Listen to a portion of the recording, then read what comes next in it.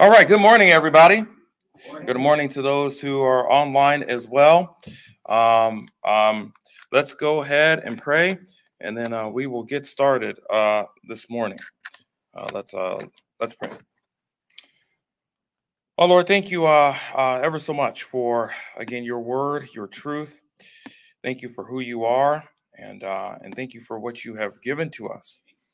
Um, not just your word, but all things, Lord. Um, life, uh, breath, um, uh, again, your wisdom, and uh, and peace found in Christ. Um, the hope for the future, and uh, our, our, eventual uh, reign with Him. We pray, God, that uh, this would be encouraging, instructive, and that as best we can, we could receive clarity from what you have given to us in your word. We love you so much for it's in your son's name. Amen. All right. Revelation 20. Man, we are here. And uh, and that means that we are uh, two chapters away from finishing this whole book. My goodness gracious. There's still a lot to cover though, so don't get too excited. Um, and especially in Revelation chapter 20, there's there's a there's some things uh, there's some things we have to talk about.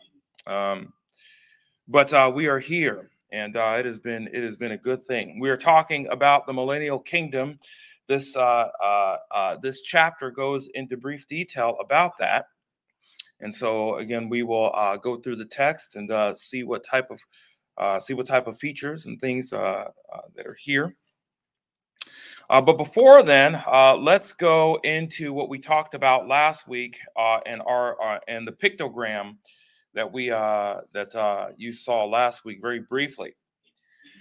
Um, last week we had discussed uh, again wrapped up kind of Revelation 19.5 and the events that that I believe transpire in 45 days. Now I know that there are some, like for instance, Fruchtenbaum, uh, he puts all this together. He lumps us all together, 75 days. But I I, I see it happening uh, uh, within this 45 day period because in this period, uh, the abomination of desolation is destroyed, enemies of Israel are wiped out, uh, things like that. Um, during this uh, particular period, this interval where you have uh, essentially no enemies, um, they're kind of all done. Um, uh, I believe they've been judged at around this time and they've been executed.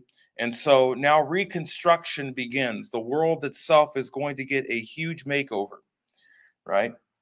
And I would say, from the aspect of Revelation, we found all these numbers and we looked at them in the first teaching of Revelation, chapter 19 and a half, where 1260 is found in the book of Revelation, right? We have the 30 day uh, interval uh, that's found uh, in Daniel, and then the 45 uh, day uh, interval, too, as well, that's also mentioned, which equals 335 days. How blessed are those who endure up to the 335 days, because I believe that's the inauguration of the kingdom. Um, from the aspect of Daniel, we have 1290, which is given, and then uh, the 45 day interval that's mentioned there, and of course the 335 days respectively.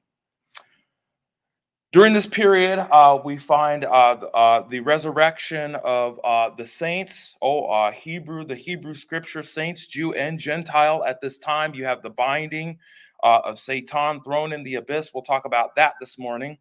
I want to look at it from a different angle. The resurrection of, of, of all the saints throughout history, um, with the exception of those who are a part of the church economy. You have uh, the tribulation saints, the resurrection of the tribulation saints. You have the living Gentiles who are judged as well, as well as the Jewish uh, uh, individuals too, Israel, um, before the start in the inauguration of the Messianic kingdom. Okay. okay. So let's uh let's go into the perspective of Revelation 20. Now I wish that I could just teach it and we can go on to chapter 21, but we can't do that.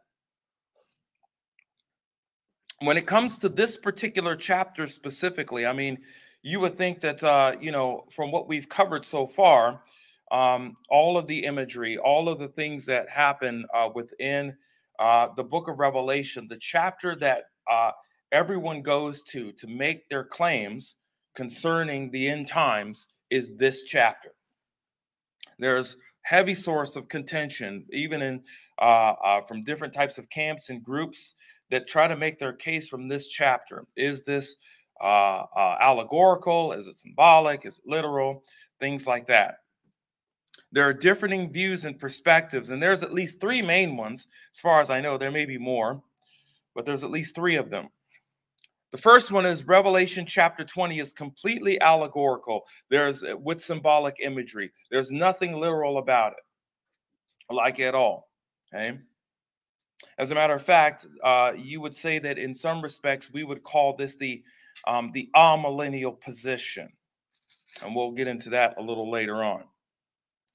Uh, Revelation chapter 20 is partly allegorical and partly literal with symbolic imagery. So some of it is allegory, some of it is literal, um, and there's symbolism all throughout the chapter. And this symbolism is trying to tell us something. This would somewhat be like a, maybe a historicist position, or maybe even a preterist position. But in any case, um, some believe that the, it, it, it's half and half, like your coffee. Uh, Revelation 20 uh, is literal or with symbolic imagery. So there is uh, figurative imagery. There is symbols in there, uh, but uh, the the symbols themselves tell of things that that actually happen. These things are normative. Okay, as far as the explanation. So the big question is, is how are we to understand Revelation chapter 20, verses 1 to 15? Now, I don't think that we have a problem here. Okay. But there is individuals perhaps out in the ether who may have questions who may uh, maybe perhaps look at this uh, from a completely allegorical stance or maybe even a partly allegorical stance um, and make claims based upon that. My position just up front is that I believe that this is normative um, with, the, with some symbolic imagery, and I will attempt to try to demonstrate that this morning. Okay, Let's go ahead, let's continue here. John begins in chapter 20, verses 1 to following, to give us a sequence of events that he details. Now, some of the events we discussed in Revelation chapter 19.5 in regards to the binding of Satan and throwing that into the abyss. But as I mentioned, there are some people that think that this is figurative, that he's not necessarily thrown into the abyss, and we'll talk about that later. Not all the events that happened during this time are mentioned in the chapters of this book, as you all know. Um, we have been making this case all throughout the book of Revelation, going to the Hebrew scriptures, uh, going into some cases the, the, the Greek text um, um, and epistles and things like that. So, not all of the events that occur during this time are mentioned in the chapter of this book. However, the ones that are mentioned, the details mentioned here, are relevant to the main information that is found within the chapters of this book. Okay, so not all the things that take place within the uh, within the millennial kingdom are found here. There are other places, and we'll try to piecemeal that together as best we can. John mentioned that he saw in verse 1 Then I saw an angel come down from heaven holding the key of the abyss and a great chain in his hand. Let's talk about some of the words here.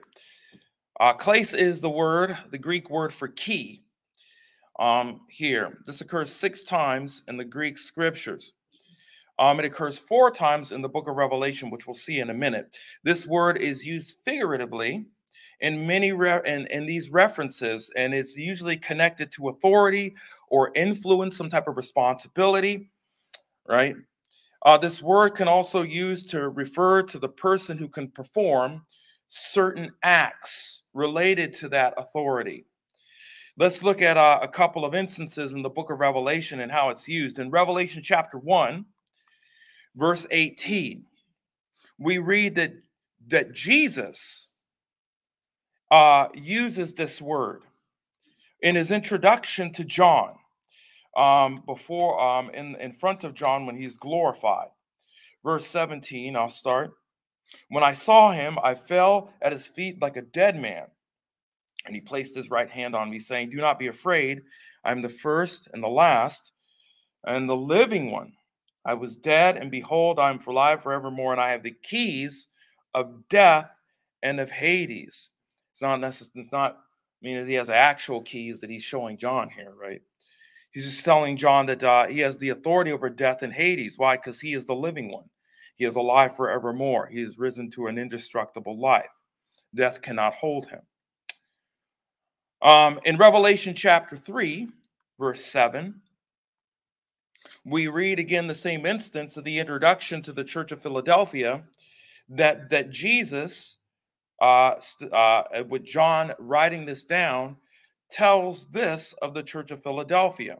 And to the angel of the church of Philadelphia, write, He who is holy, who is true, who has the key of David, who opens and no one will shut, and who shuts and no one opens. We talked about this a, a while back that Jesus has the authority uh, to sit on the throne of David. He is the one who is from the line of David, underscored in uh, 2 Samuel and other places. And that no one has the right to this particular key or this authority. He's the only one that has this. Hence, who shuts, who opens and no one will shut, who shuts, no one will open, so on and so forth. In Revelation chapter 9, verse 1, concerning one of the judgments of God.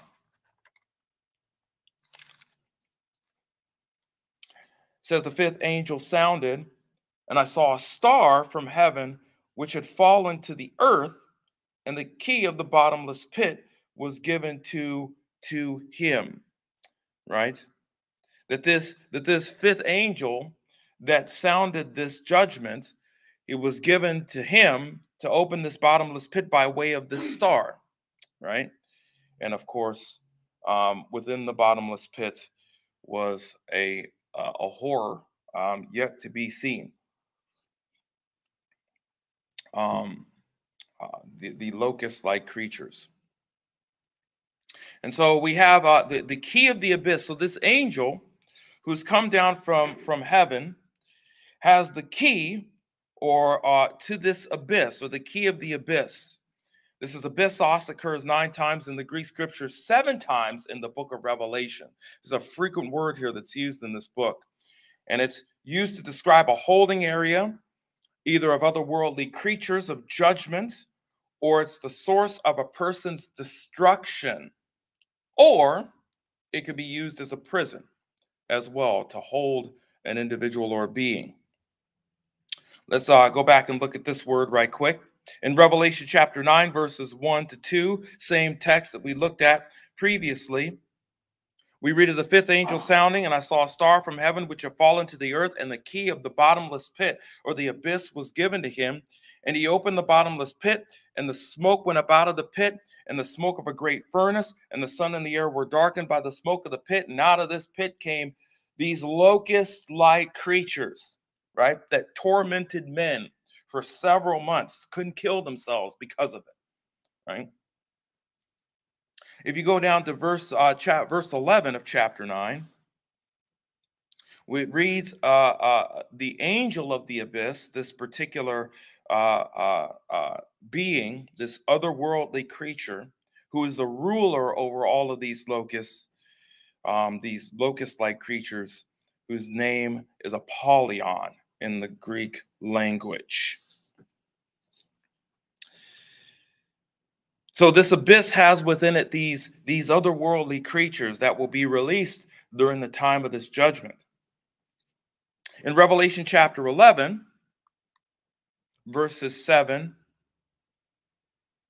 and 8, we read about the beast that comes up out of the bottomless pit. This is not uh, Satan, this is uh, talking about uh, the conqueror and the and the and the source or the origin of his influence. It does not come from above; it comes from below. When they finish their testimony, the beast that comes up out of the abyss will make war with them and overcome them and will kill them. And their dead bodies will lie in the street of the great city, which mystically is called Sodom in Egypt, where their Lord was crucified. Again, the source uh, of this beast comes from the earth, from below. We see this also reflected in Revelation uh, chapter 12, 2. Okay. This uh, angel, again, has uh, uh, holds the key to the abyss, has a great chain in his hand. Halis megas is the Greek word. This word, this phrase is only used here in this text in Revelation 20. Um, it is it describes a huge chain, a massive chain, right? Um, uh, that he has. This is not a small small chain. This is this is a, a large one, right?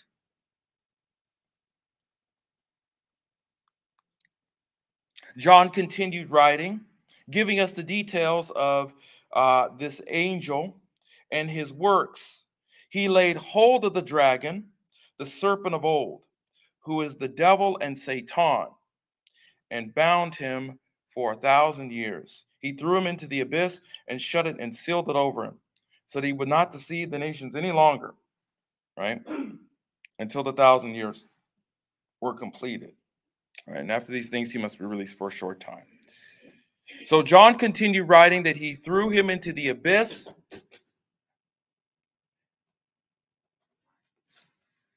Let's take a drink break for a second. Oh, that was you. I should have known. I thought it was Will, but then I that that doesn't happen with Will.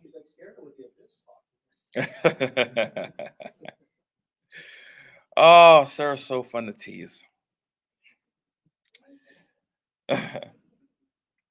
okay. So we see that uh, the, the, the serpent laid hold of the dragon, seized him, threw him into the abyss, the, uh, the abyssos, and shut it and sealed it over him. Kleo is the word here for shut. 16 times in the Greek scriptures it is used, and, and, and it is used for just that for, for shutting someone in, for locking them in, right? For closing something. This word also occurs in the book of Revelation in various places with the same meaning. Then we find that he threw it into he threw him into the abyss, shut it, and sealed it over him. So this word is safar uh, is uh. It occurs 15 times in the Greek scriptures, and this is used to discuss either a seal that is set on something, like when someone sets a seal on someone or something. Um, it could be used to close or secure or fasten something. And this word also occurs in the book of Revelation eight times. So it's frequently used here.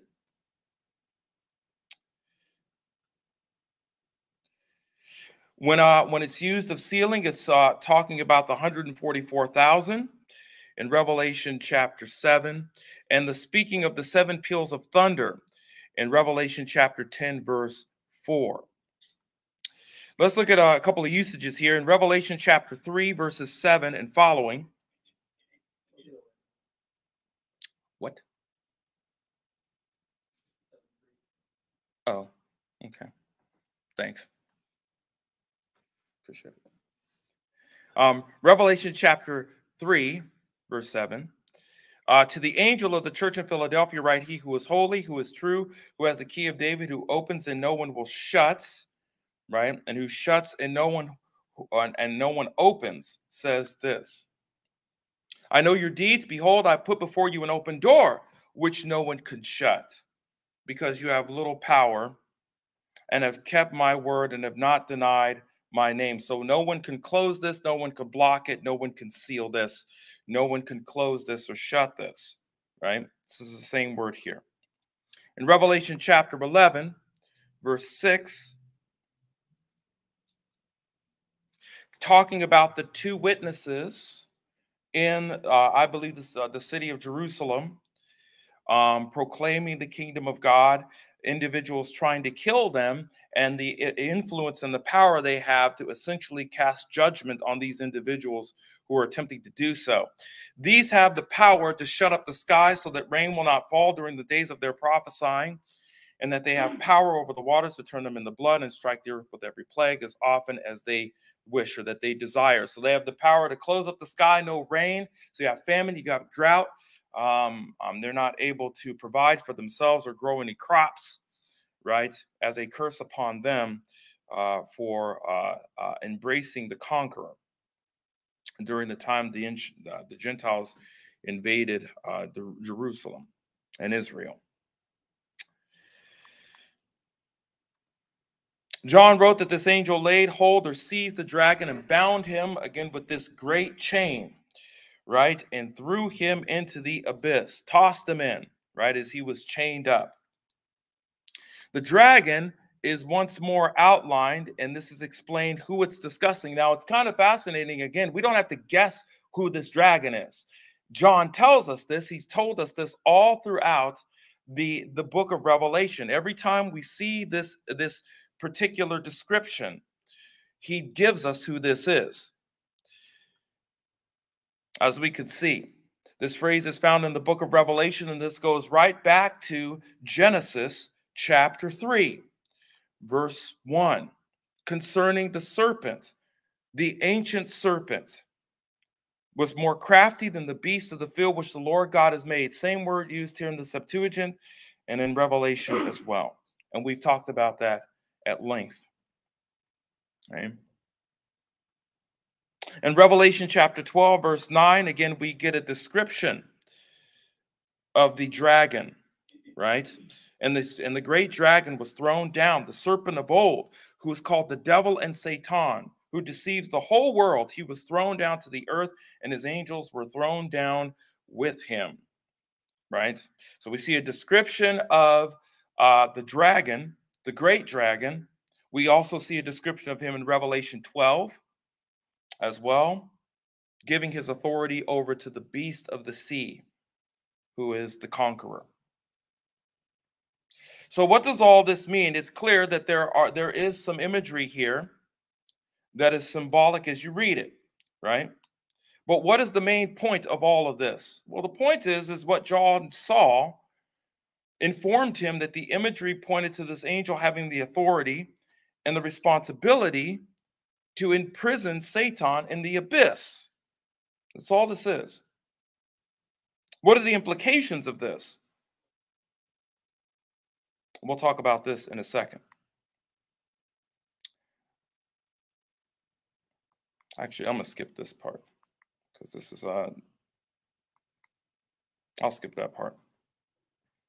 John told the reader the purpose of this binding, really, was that the nations will not be deceived any longer. We read this in verse 3. He threw him into the abyss and shut it and sealed it over him so that the purpose is that he will not deceive the nations any longer, right? That is the whole reason why he's being imprisoned in the abyss. That those who are convinced the binding of Satan, there. Oh, let me let me back up. Okay, so based upon this particular sentence here, so that the nations will not be deceived. This is the reason why he's bound. There are some people that are convinced that the binding of Satan is symbolic to the propagation of the gospel of Christ all across the world. That because the kingdom, because the uh, uh, uh, the gospel is advancing, they would even put, connect this to the kingdom of God as the gospel advances, and as people believe the kingdom is advancing, and as a result of it, Satan is being bound in that particular area. Remember how I told you that there are those who believe this believe that uh, eh, most of this is symbolic, that this is symbolic of uh, of the of the uh, um, Christus Victor, right? The victory of Christ and the church throughout the world as they proclaim the gospel and people get saved. The dominion of darkness, the kingdom of darkness is being destroyed, and Satan, who is the ruler of that, is being bound. There's one such individual who uh, uh, underscores this in what he writes in some of his comments he says this He says, While the heathen were in his power, were his servants, the spell of Satan's authority would no longer hold them with the chains of absolute tyranny. with the message of Satan's defeat, which went out in the gospel of the resurrection of Jesus, the devil's hold was broken. The length of time for which this condition should obtain was definitely determined with God, though probably not in terms of time as we use it. Essentially, he's saying here, um, uh, this commentator here, is that a thousand doesn't really mean that. It just means a long time. And that and that this period of time marks the propagation of the gospel of Christ throughout the world and the release of Satan's hold, the binding of Satan due to the proclamation of the word of God, that is Christ and the gospel. A couple of things to mention here about this particular text in Revelation 20, verses 1 to 3 is there's no mention of the items in this passage that is the key, the chain, the bottomless pit, being mentioned as related to the gospel message in the church economy. The word gospel doesn't even appear here in Revelation 20. Now, I would I would I would propose that this is good news, right? That the uh, the uh, serpent of old is chained and thrown into the abyss, so that the deception of the nations would not continue. But it does not say explicitly that this act by the angel is associated with the gospel of Christ being propagated all over the world. Doesn't say that. There's no mention of relative pronouns that is like or as as the as the gospel uh, is as the angel coming to with a great chain in his hand to bind Satan and throw him into the abyss. There's no relative pronouns here. There are no there's no allegorical language here either in terms of uh, uh, using the word itself, like in Galatians. And there's no clarifying words or phrases, like in verse 2. And he laid hold of the dragon, the serpent of old, who is the devil and Satan. They, John clarifies the imagery here in this text, like he does with all the imagery in this book, by the way. Okay. We don't have to guess the imagery that's found in this book. John describes it to us as we read it. And the focus of these texts is on the actions of the angel. Notice there is no speech by the angel itself, there's no speech by John concerning the angel itself. And there is no association or connection with the actions of the angel in relation to the message of the, of the saints. It is just the action of the saints, uh, or I'm sorry, it's actually the actions of the angel himself, binding Satan and throwing him into the abyss and shutting it. So the result of this binding is very much related to the world and the system that he ruled over being defeated, which is why I place it in the 45 day interval. Because it's not that the kingdom commences and then Satan is chained and thrown into the abyss. No. The, the, the, the, the, the binding and throwing and shutting and sealing of Satan happens, I am convinced, before the inauguration of the kingdom because it marks the system that he ruled as being completely defeated. Again, this is aligned with the message of the book of Revelation that this angel who has this responsibility binds Satan with a great chain, I believe literally, throws him into an abyss, literally, and closes it. Literally.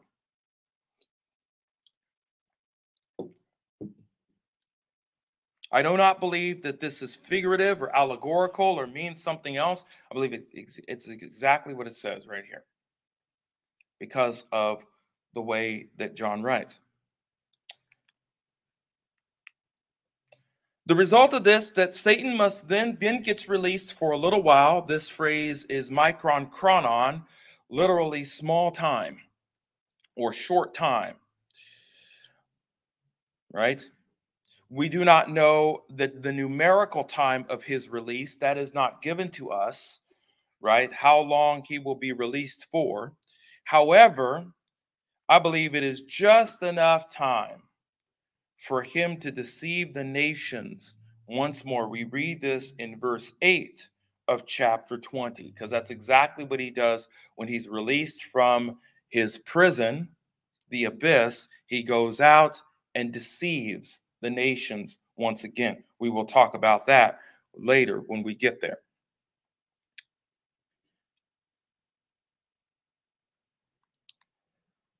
John turns his attention to another group and then mentions the specific qualities of this group, okay, in verses 4 and following. Then I saw thrones, and they sat on them, and judgment was given to them.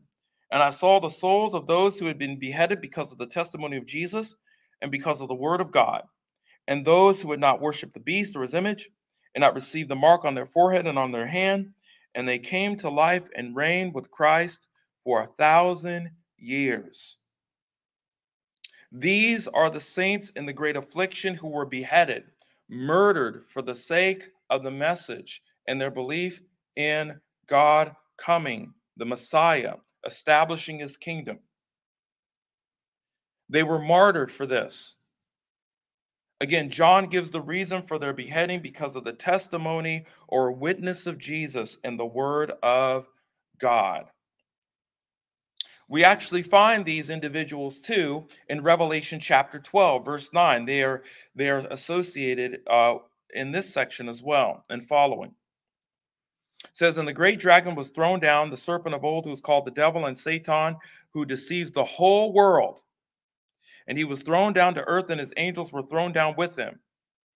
And then I heard the loud voice of the accuser, or and I heard a loud voice in heaven saying, Now the salvation and the power and the kingdom of our God and the authority of Christ has come, for the accuser of our brethren has been thrown down.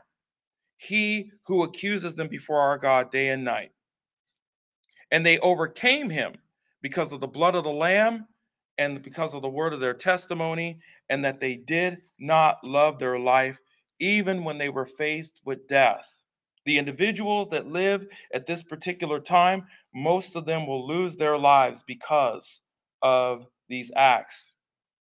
We see the same thing in Revelation chapter 13. I will uh, it's not on your screen, but I will uh, I will read it here. Verses 5 and following of Revelation 13. There was given to him that is the beast of the sea a mouth speaking arrogant words and blasphemies, and the authority to act for 42 months was given to him. And he opened his mouth in blasphemies against God to blaspheme his name and his tabernacle, that is, those who dwell in heaven. Verse 7 It was also given to him to make war with the saints and overcome them. And authority over every tribe and people and tongue and nation was given to him. Verse 10 if anyone is destined for captivity, to captivity he goes. If anyone kills with the sword, with the sword he must be killed. Here is the endurance of the faith of the saints. So these are the individuals who endured, or the individuals who have lost their life believing in the message of the Messiah who is coming. And as a result, their reward is that they will resurrect or be resurrected. They did not take the mark of the beast on their head, on their forehead, or on their hand. Again, we see this in Revelation chapter 13, verses 12 to 13, which we just read. That he exercises all authority of the first beast in his presence. This is the beast of the earth now. And he makes the earth and those who dwell in it to worship the first beast, whose fatal wound was healed. He performs great signs, the result that he even makes fire come down with, from heaven uh, or, or from earth, from heaven to earth in the presence of men. And he deceives those who dwell on the earth because of the signs which it was given to him to perform in the presence of the beast, telling those who dwell on the earth to make an image of the beast who had the wound of the sword and has come to life. And it was given to him to give breath to the image of the beast so that the beast would even speak and cause the image of the beast to be killed and if we um or the image those who don't worship the image of the beast to be killed So those who have the mark of the beast, the forehead, and on the and on the hand, like I said, it's probably a brand or a scar of some type. Their actions are worshiping this this uh, this idol, essentially represented as the beast, the conqueror, and those who don't will be killed. Then John mentioned the reward of those who were beheaded. Those who were beheaded sat on thrones, giving uh, given the authority to judge. And those who were beheaded reigned alongside of Christ. This is the reward for those who have lost their lives within this period of affliction, harsh affliction. They will be resurrected and given authority to rule and reign in this in this millennial age. Again, I believe this is also before again the um, uh, before the inauguration of the kingdom, and it and it and it transfers right into uh, the millennial age. Now, in the next slide, I attempted to try to give the ruling order of what I, I, I think is going to take place in the millennial kingdom. I could be wrong about this. Okay. Of course, we don't have all the information, and I and and God has not granted me the grace to see what John sees physically.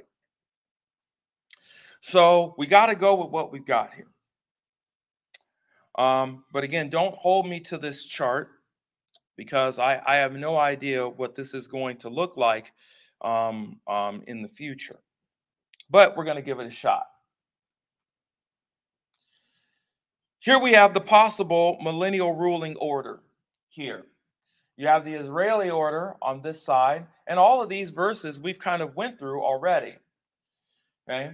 And then you have the Gentile order, okay, on this side. Let's talk about the Israeli order for just a minute. So you have uh, Jesus Christ, who is the ruler of the entire theocratic kingdom. The government rests on his shoulders. He is the one that uh, he is the the the ruler supreme, right? In uh, at this time. On the Israeli order, you have David, who is known as the prince, right? In Ezekiel 34 and 37. Of course, he is glorified because he's resurrected along with uh, his brothers uh, from Israel. You have the 12 apostles who are rulers of the 12 tribes of Israel who will be glorified as well. Okay. And they will sit and rule and govern. They more than likely will be uh, uh, with the princes, because remember, the princes have their own section if you recall, um, in uh, in Israel. So they more than likely they may dwell there. But I, I would I'm convinced all of these individuals are, are glorified.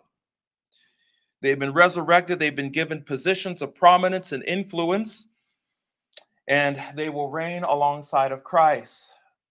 Then you have judges, you have counselors, and you have priests.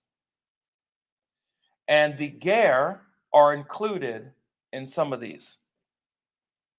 We read texts that even the Ger will serve as priests in the millennial kingdom.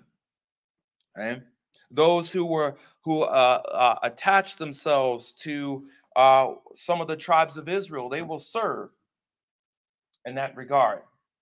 I believe this will be glorified and non-glorified uh, uh, believers at the start of the millennial kingdom.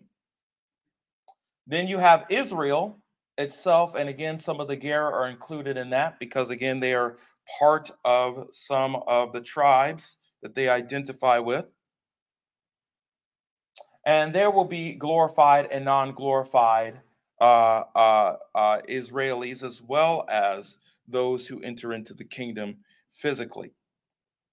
And then lastly, you have uh, the former Gentile enemy nations. Israel will rule over them. Okay. And we see various verses that talk about that and discuss that. Okay. Then over in the Gentile order, you have uh, Gentile kingdom priests. That's Revelation chapter 1, verse 6. We will serve to some capacity. Maybe perhaps we will live in Israel ourselves. Christ will give us orders. He, you know, will transport out to different areas and different places, taking care of business, doing different things, uh, uh, being over particular activities, judging uh, and evaluating as well in different cases. You have the Gentile kings, which Isaiah talks about in chapter 60 and 61, respectively that there will be kings that will bring their tribute into Israel to uh, to praise and worship the king. Okay. And then you have other nations, right? Uh, obviously, there. Uh, this uh, we will be glorified, of course. You will you uh, possibly will have non-glorified individuals serving and ruling over other nations, and of course, uh, other nations will have a conglomeration of glorified and non glorified people. It will be a sight to behold for sure. You know what I'm saying? I mean, sitting down, sipping a cup of coffee with a person who's glowing in front of you, right? And it would be a normal thing that will occur here in this particular time period. We will have responsibilities and actions, jobs that we will complete, things we will be doing. John is the duration of time of all these events. Kilios etos is the Greek word here. This phrase is used three times between verses one and six. Thousand, thousand, thousand, or the thousand right? All of these uh, uh, responsibilities, actions, the ruling of, of the saints alongside of Christ for the duration of time is what is known as a thousand, or what we would like to say, um, milli for Latin, or the millennium. These are those who have, there are those who have different theological perspectives. Like I mentioned before, I wish I have to do a mea culpa. I wish that we could I could just teach this and we can go on to chapter 21. But I cannot because there's some things we got to talk about. There are those who have different theological perspectives that believe different things about the millennium. As I mentioned before, there are some that believe that this is all symbolic. There are some people believe that this is all allegorical. There are some people believe that it's partly allegorical, partly symbolic. You know, there's there's a whole bunch of beliefs out there. We will get we will begin to explore those mainline beliefs next week. Okay? And why they are problematic. Until then, grace and peace. That ends my hour. Let's pray and we will close. Lord, thank you so much for your word. It is exciting to open up your word and see the events that are going to take place in the future, especially in this chapter, where uh, things uh, uh, will be rebuilt and reconstructed. Things that we've read about, pictures that we've seen, diagrams, charts, will all be realized. The things that we're unsure about will become clear. And that will be a fun time to look and see all the things that will take place, to actually see Jesus face to face, as well as all of the Hebrew saints that we've read about and looked at, to talk with them, to actually sit down and ask them questions about their life and who they are that this will be a glorious time. I thank you so much for the opportunity for us uh, by John, through John, that you've informed us of how things will be and the justice and the peace that will be experienced and explicated here at this time. Thank you so much, Lord. May we continue to think about this often as we ought to at the hope um, that we have in Christ. For it's in his name we pray. Amen.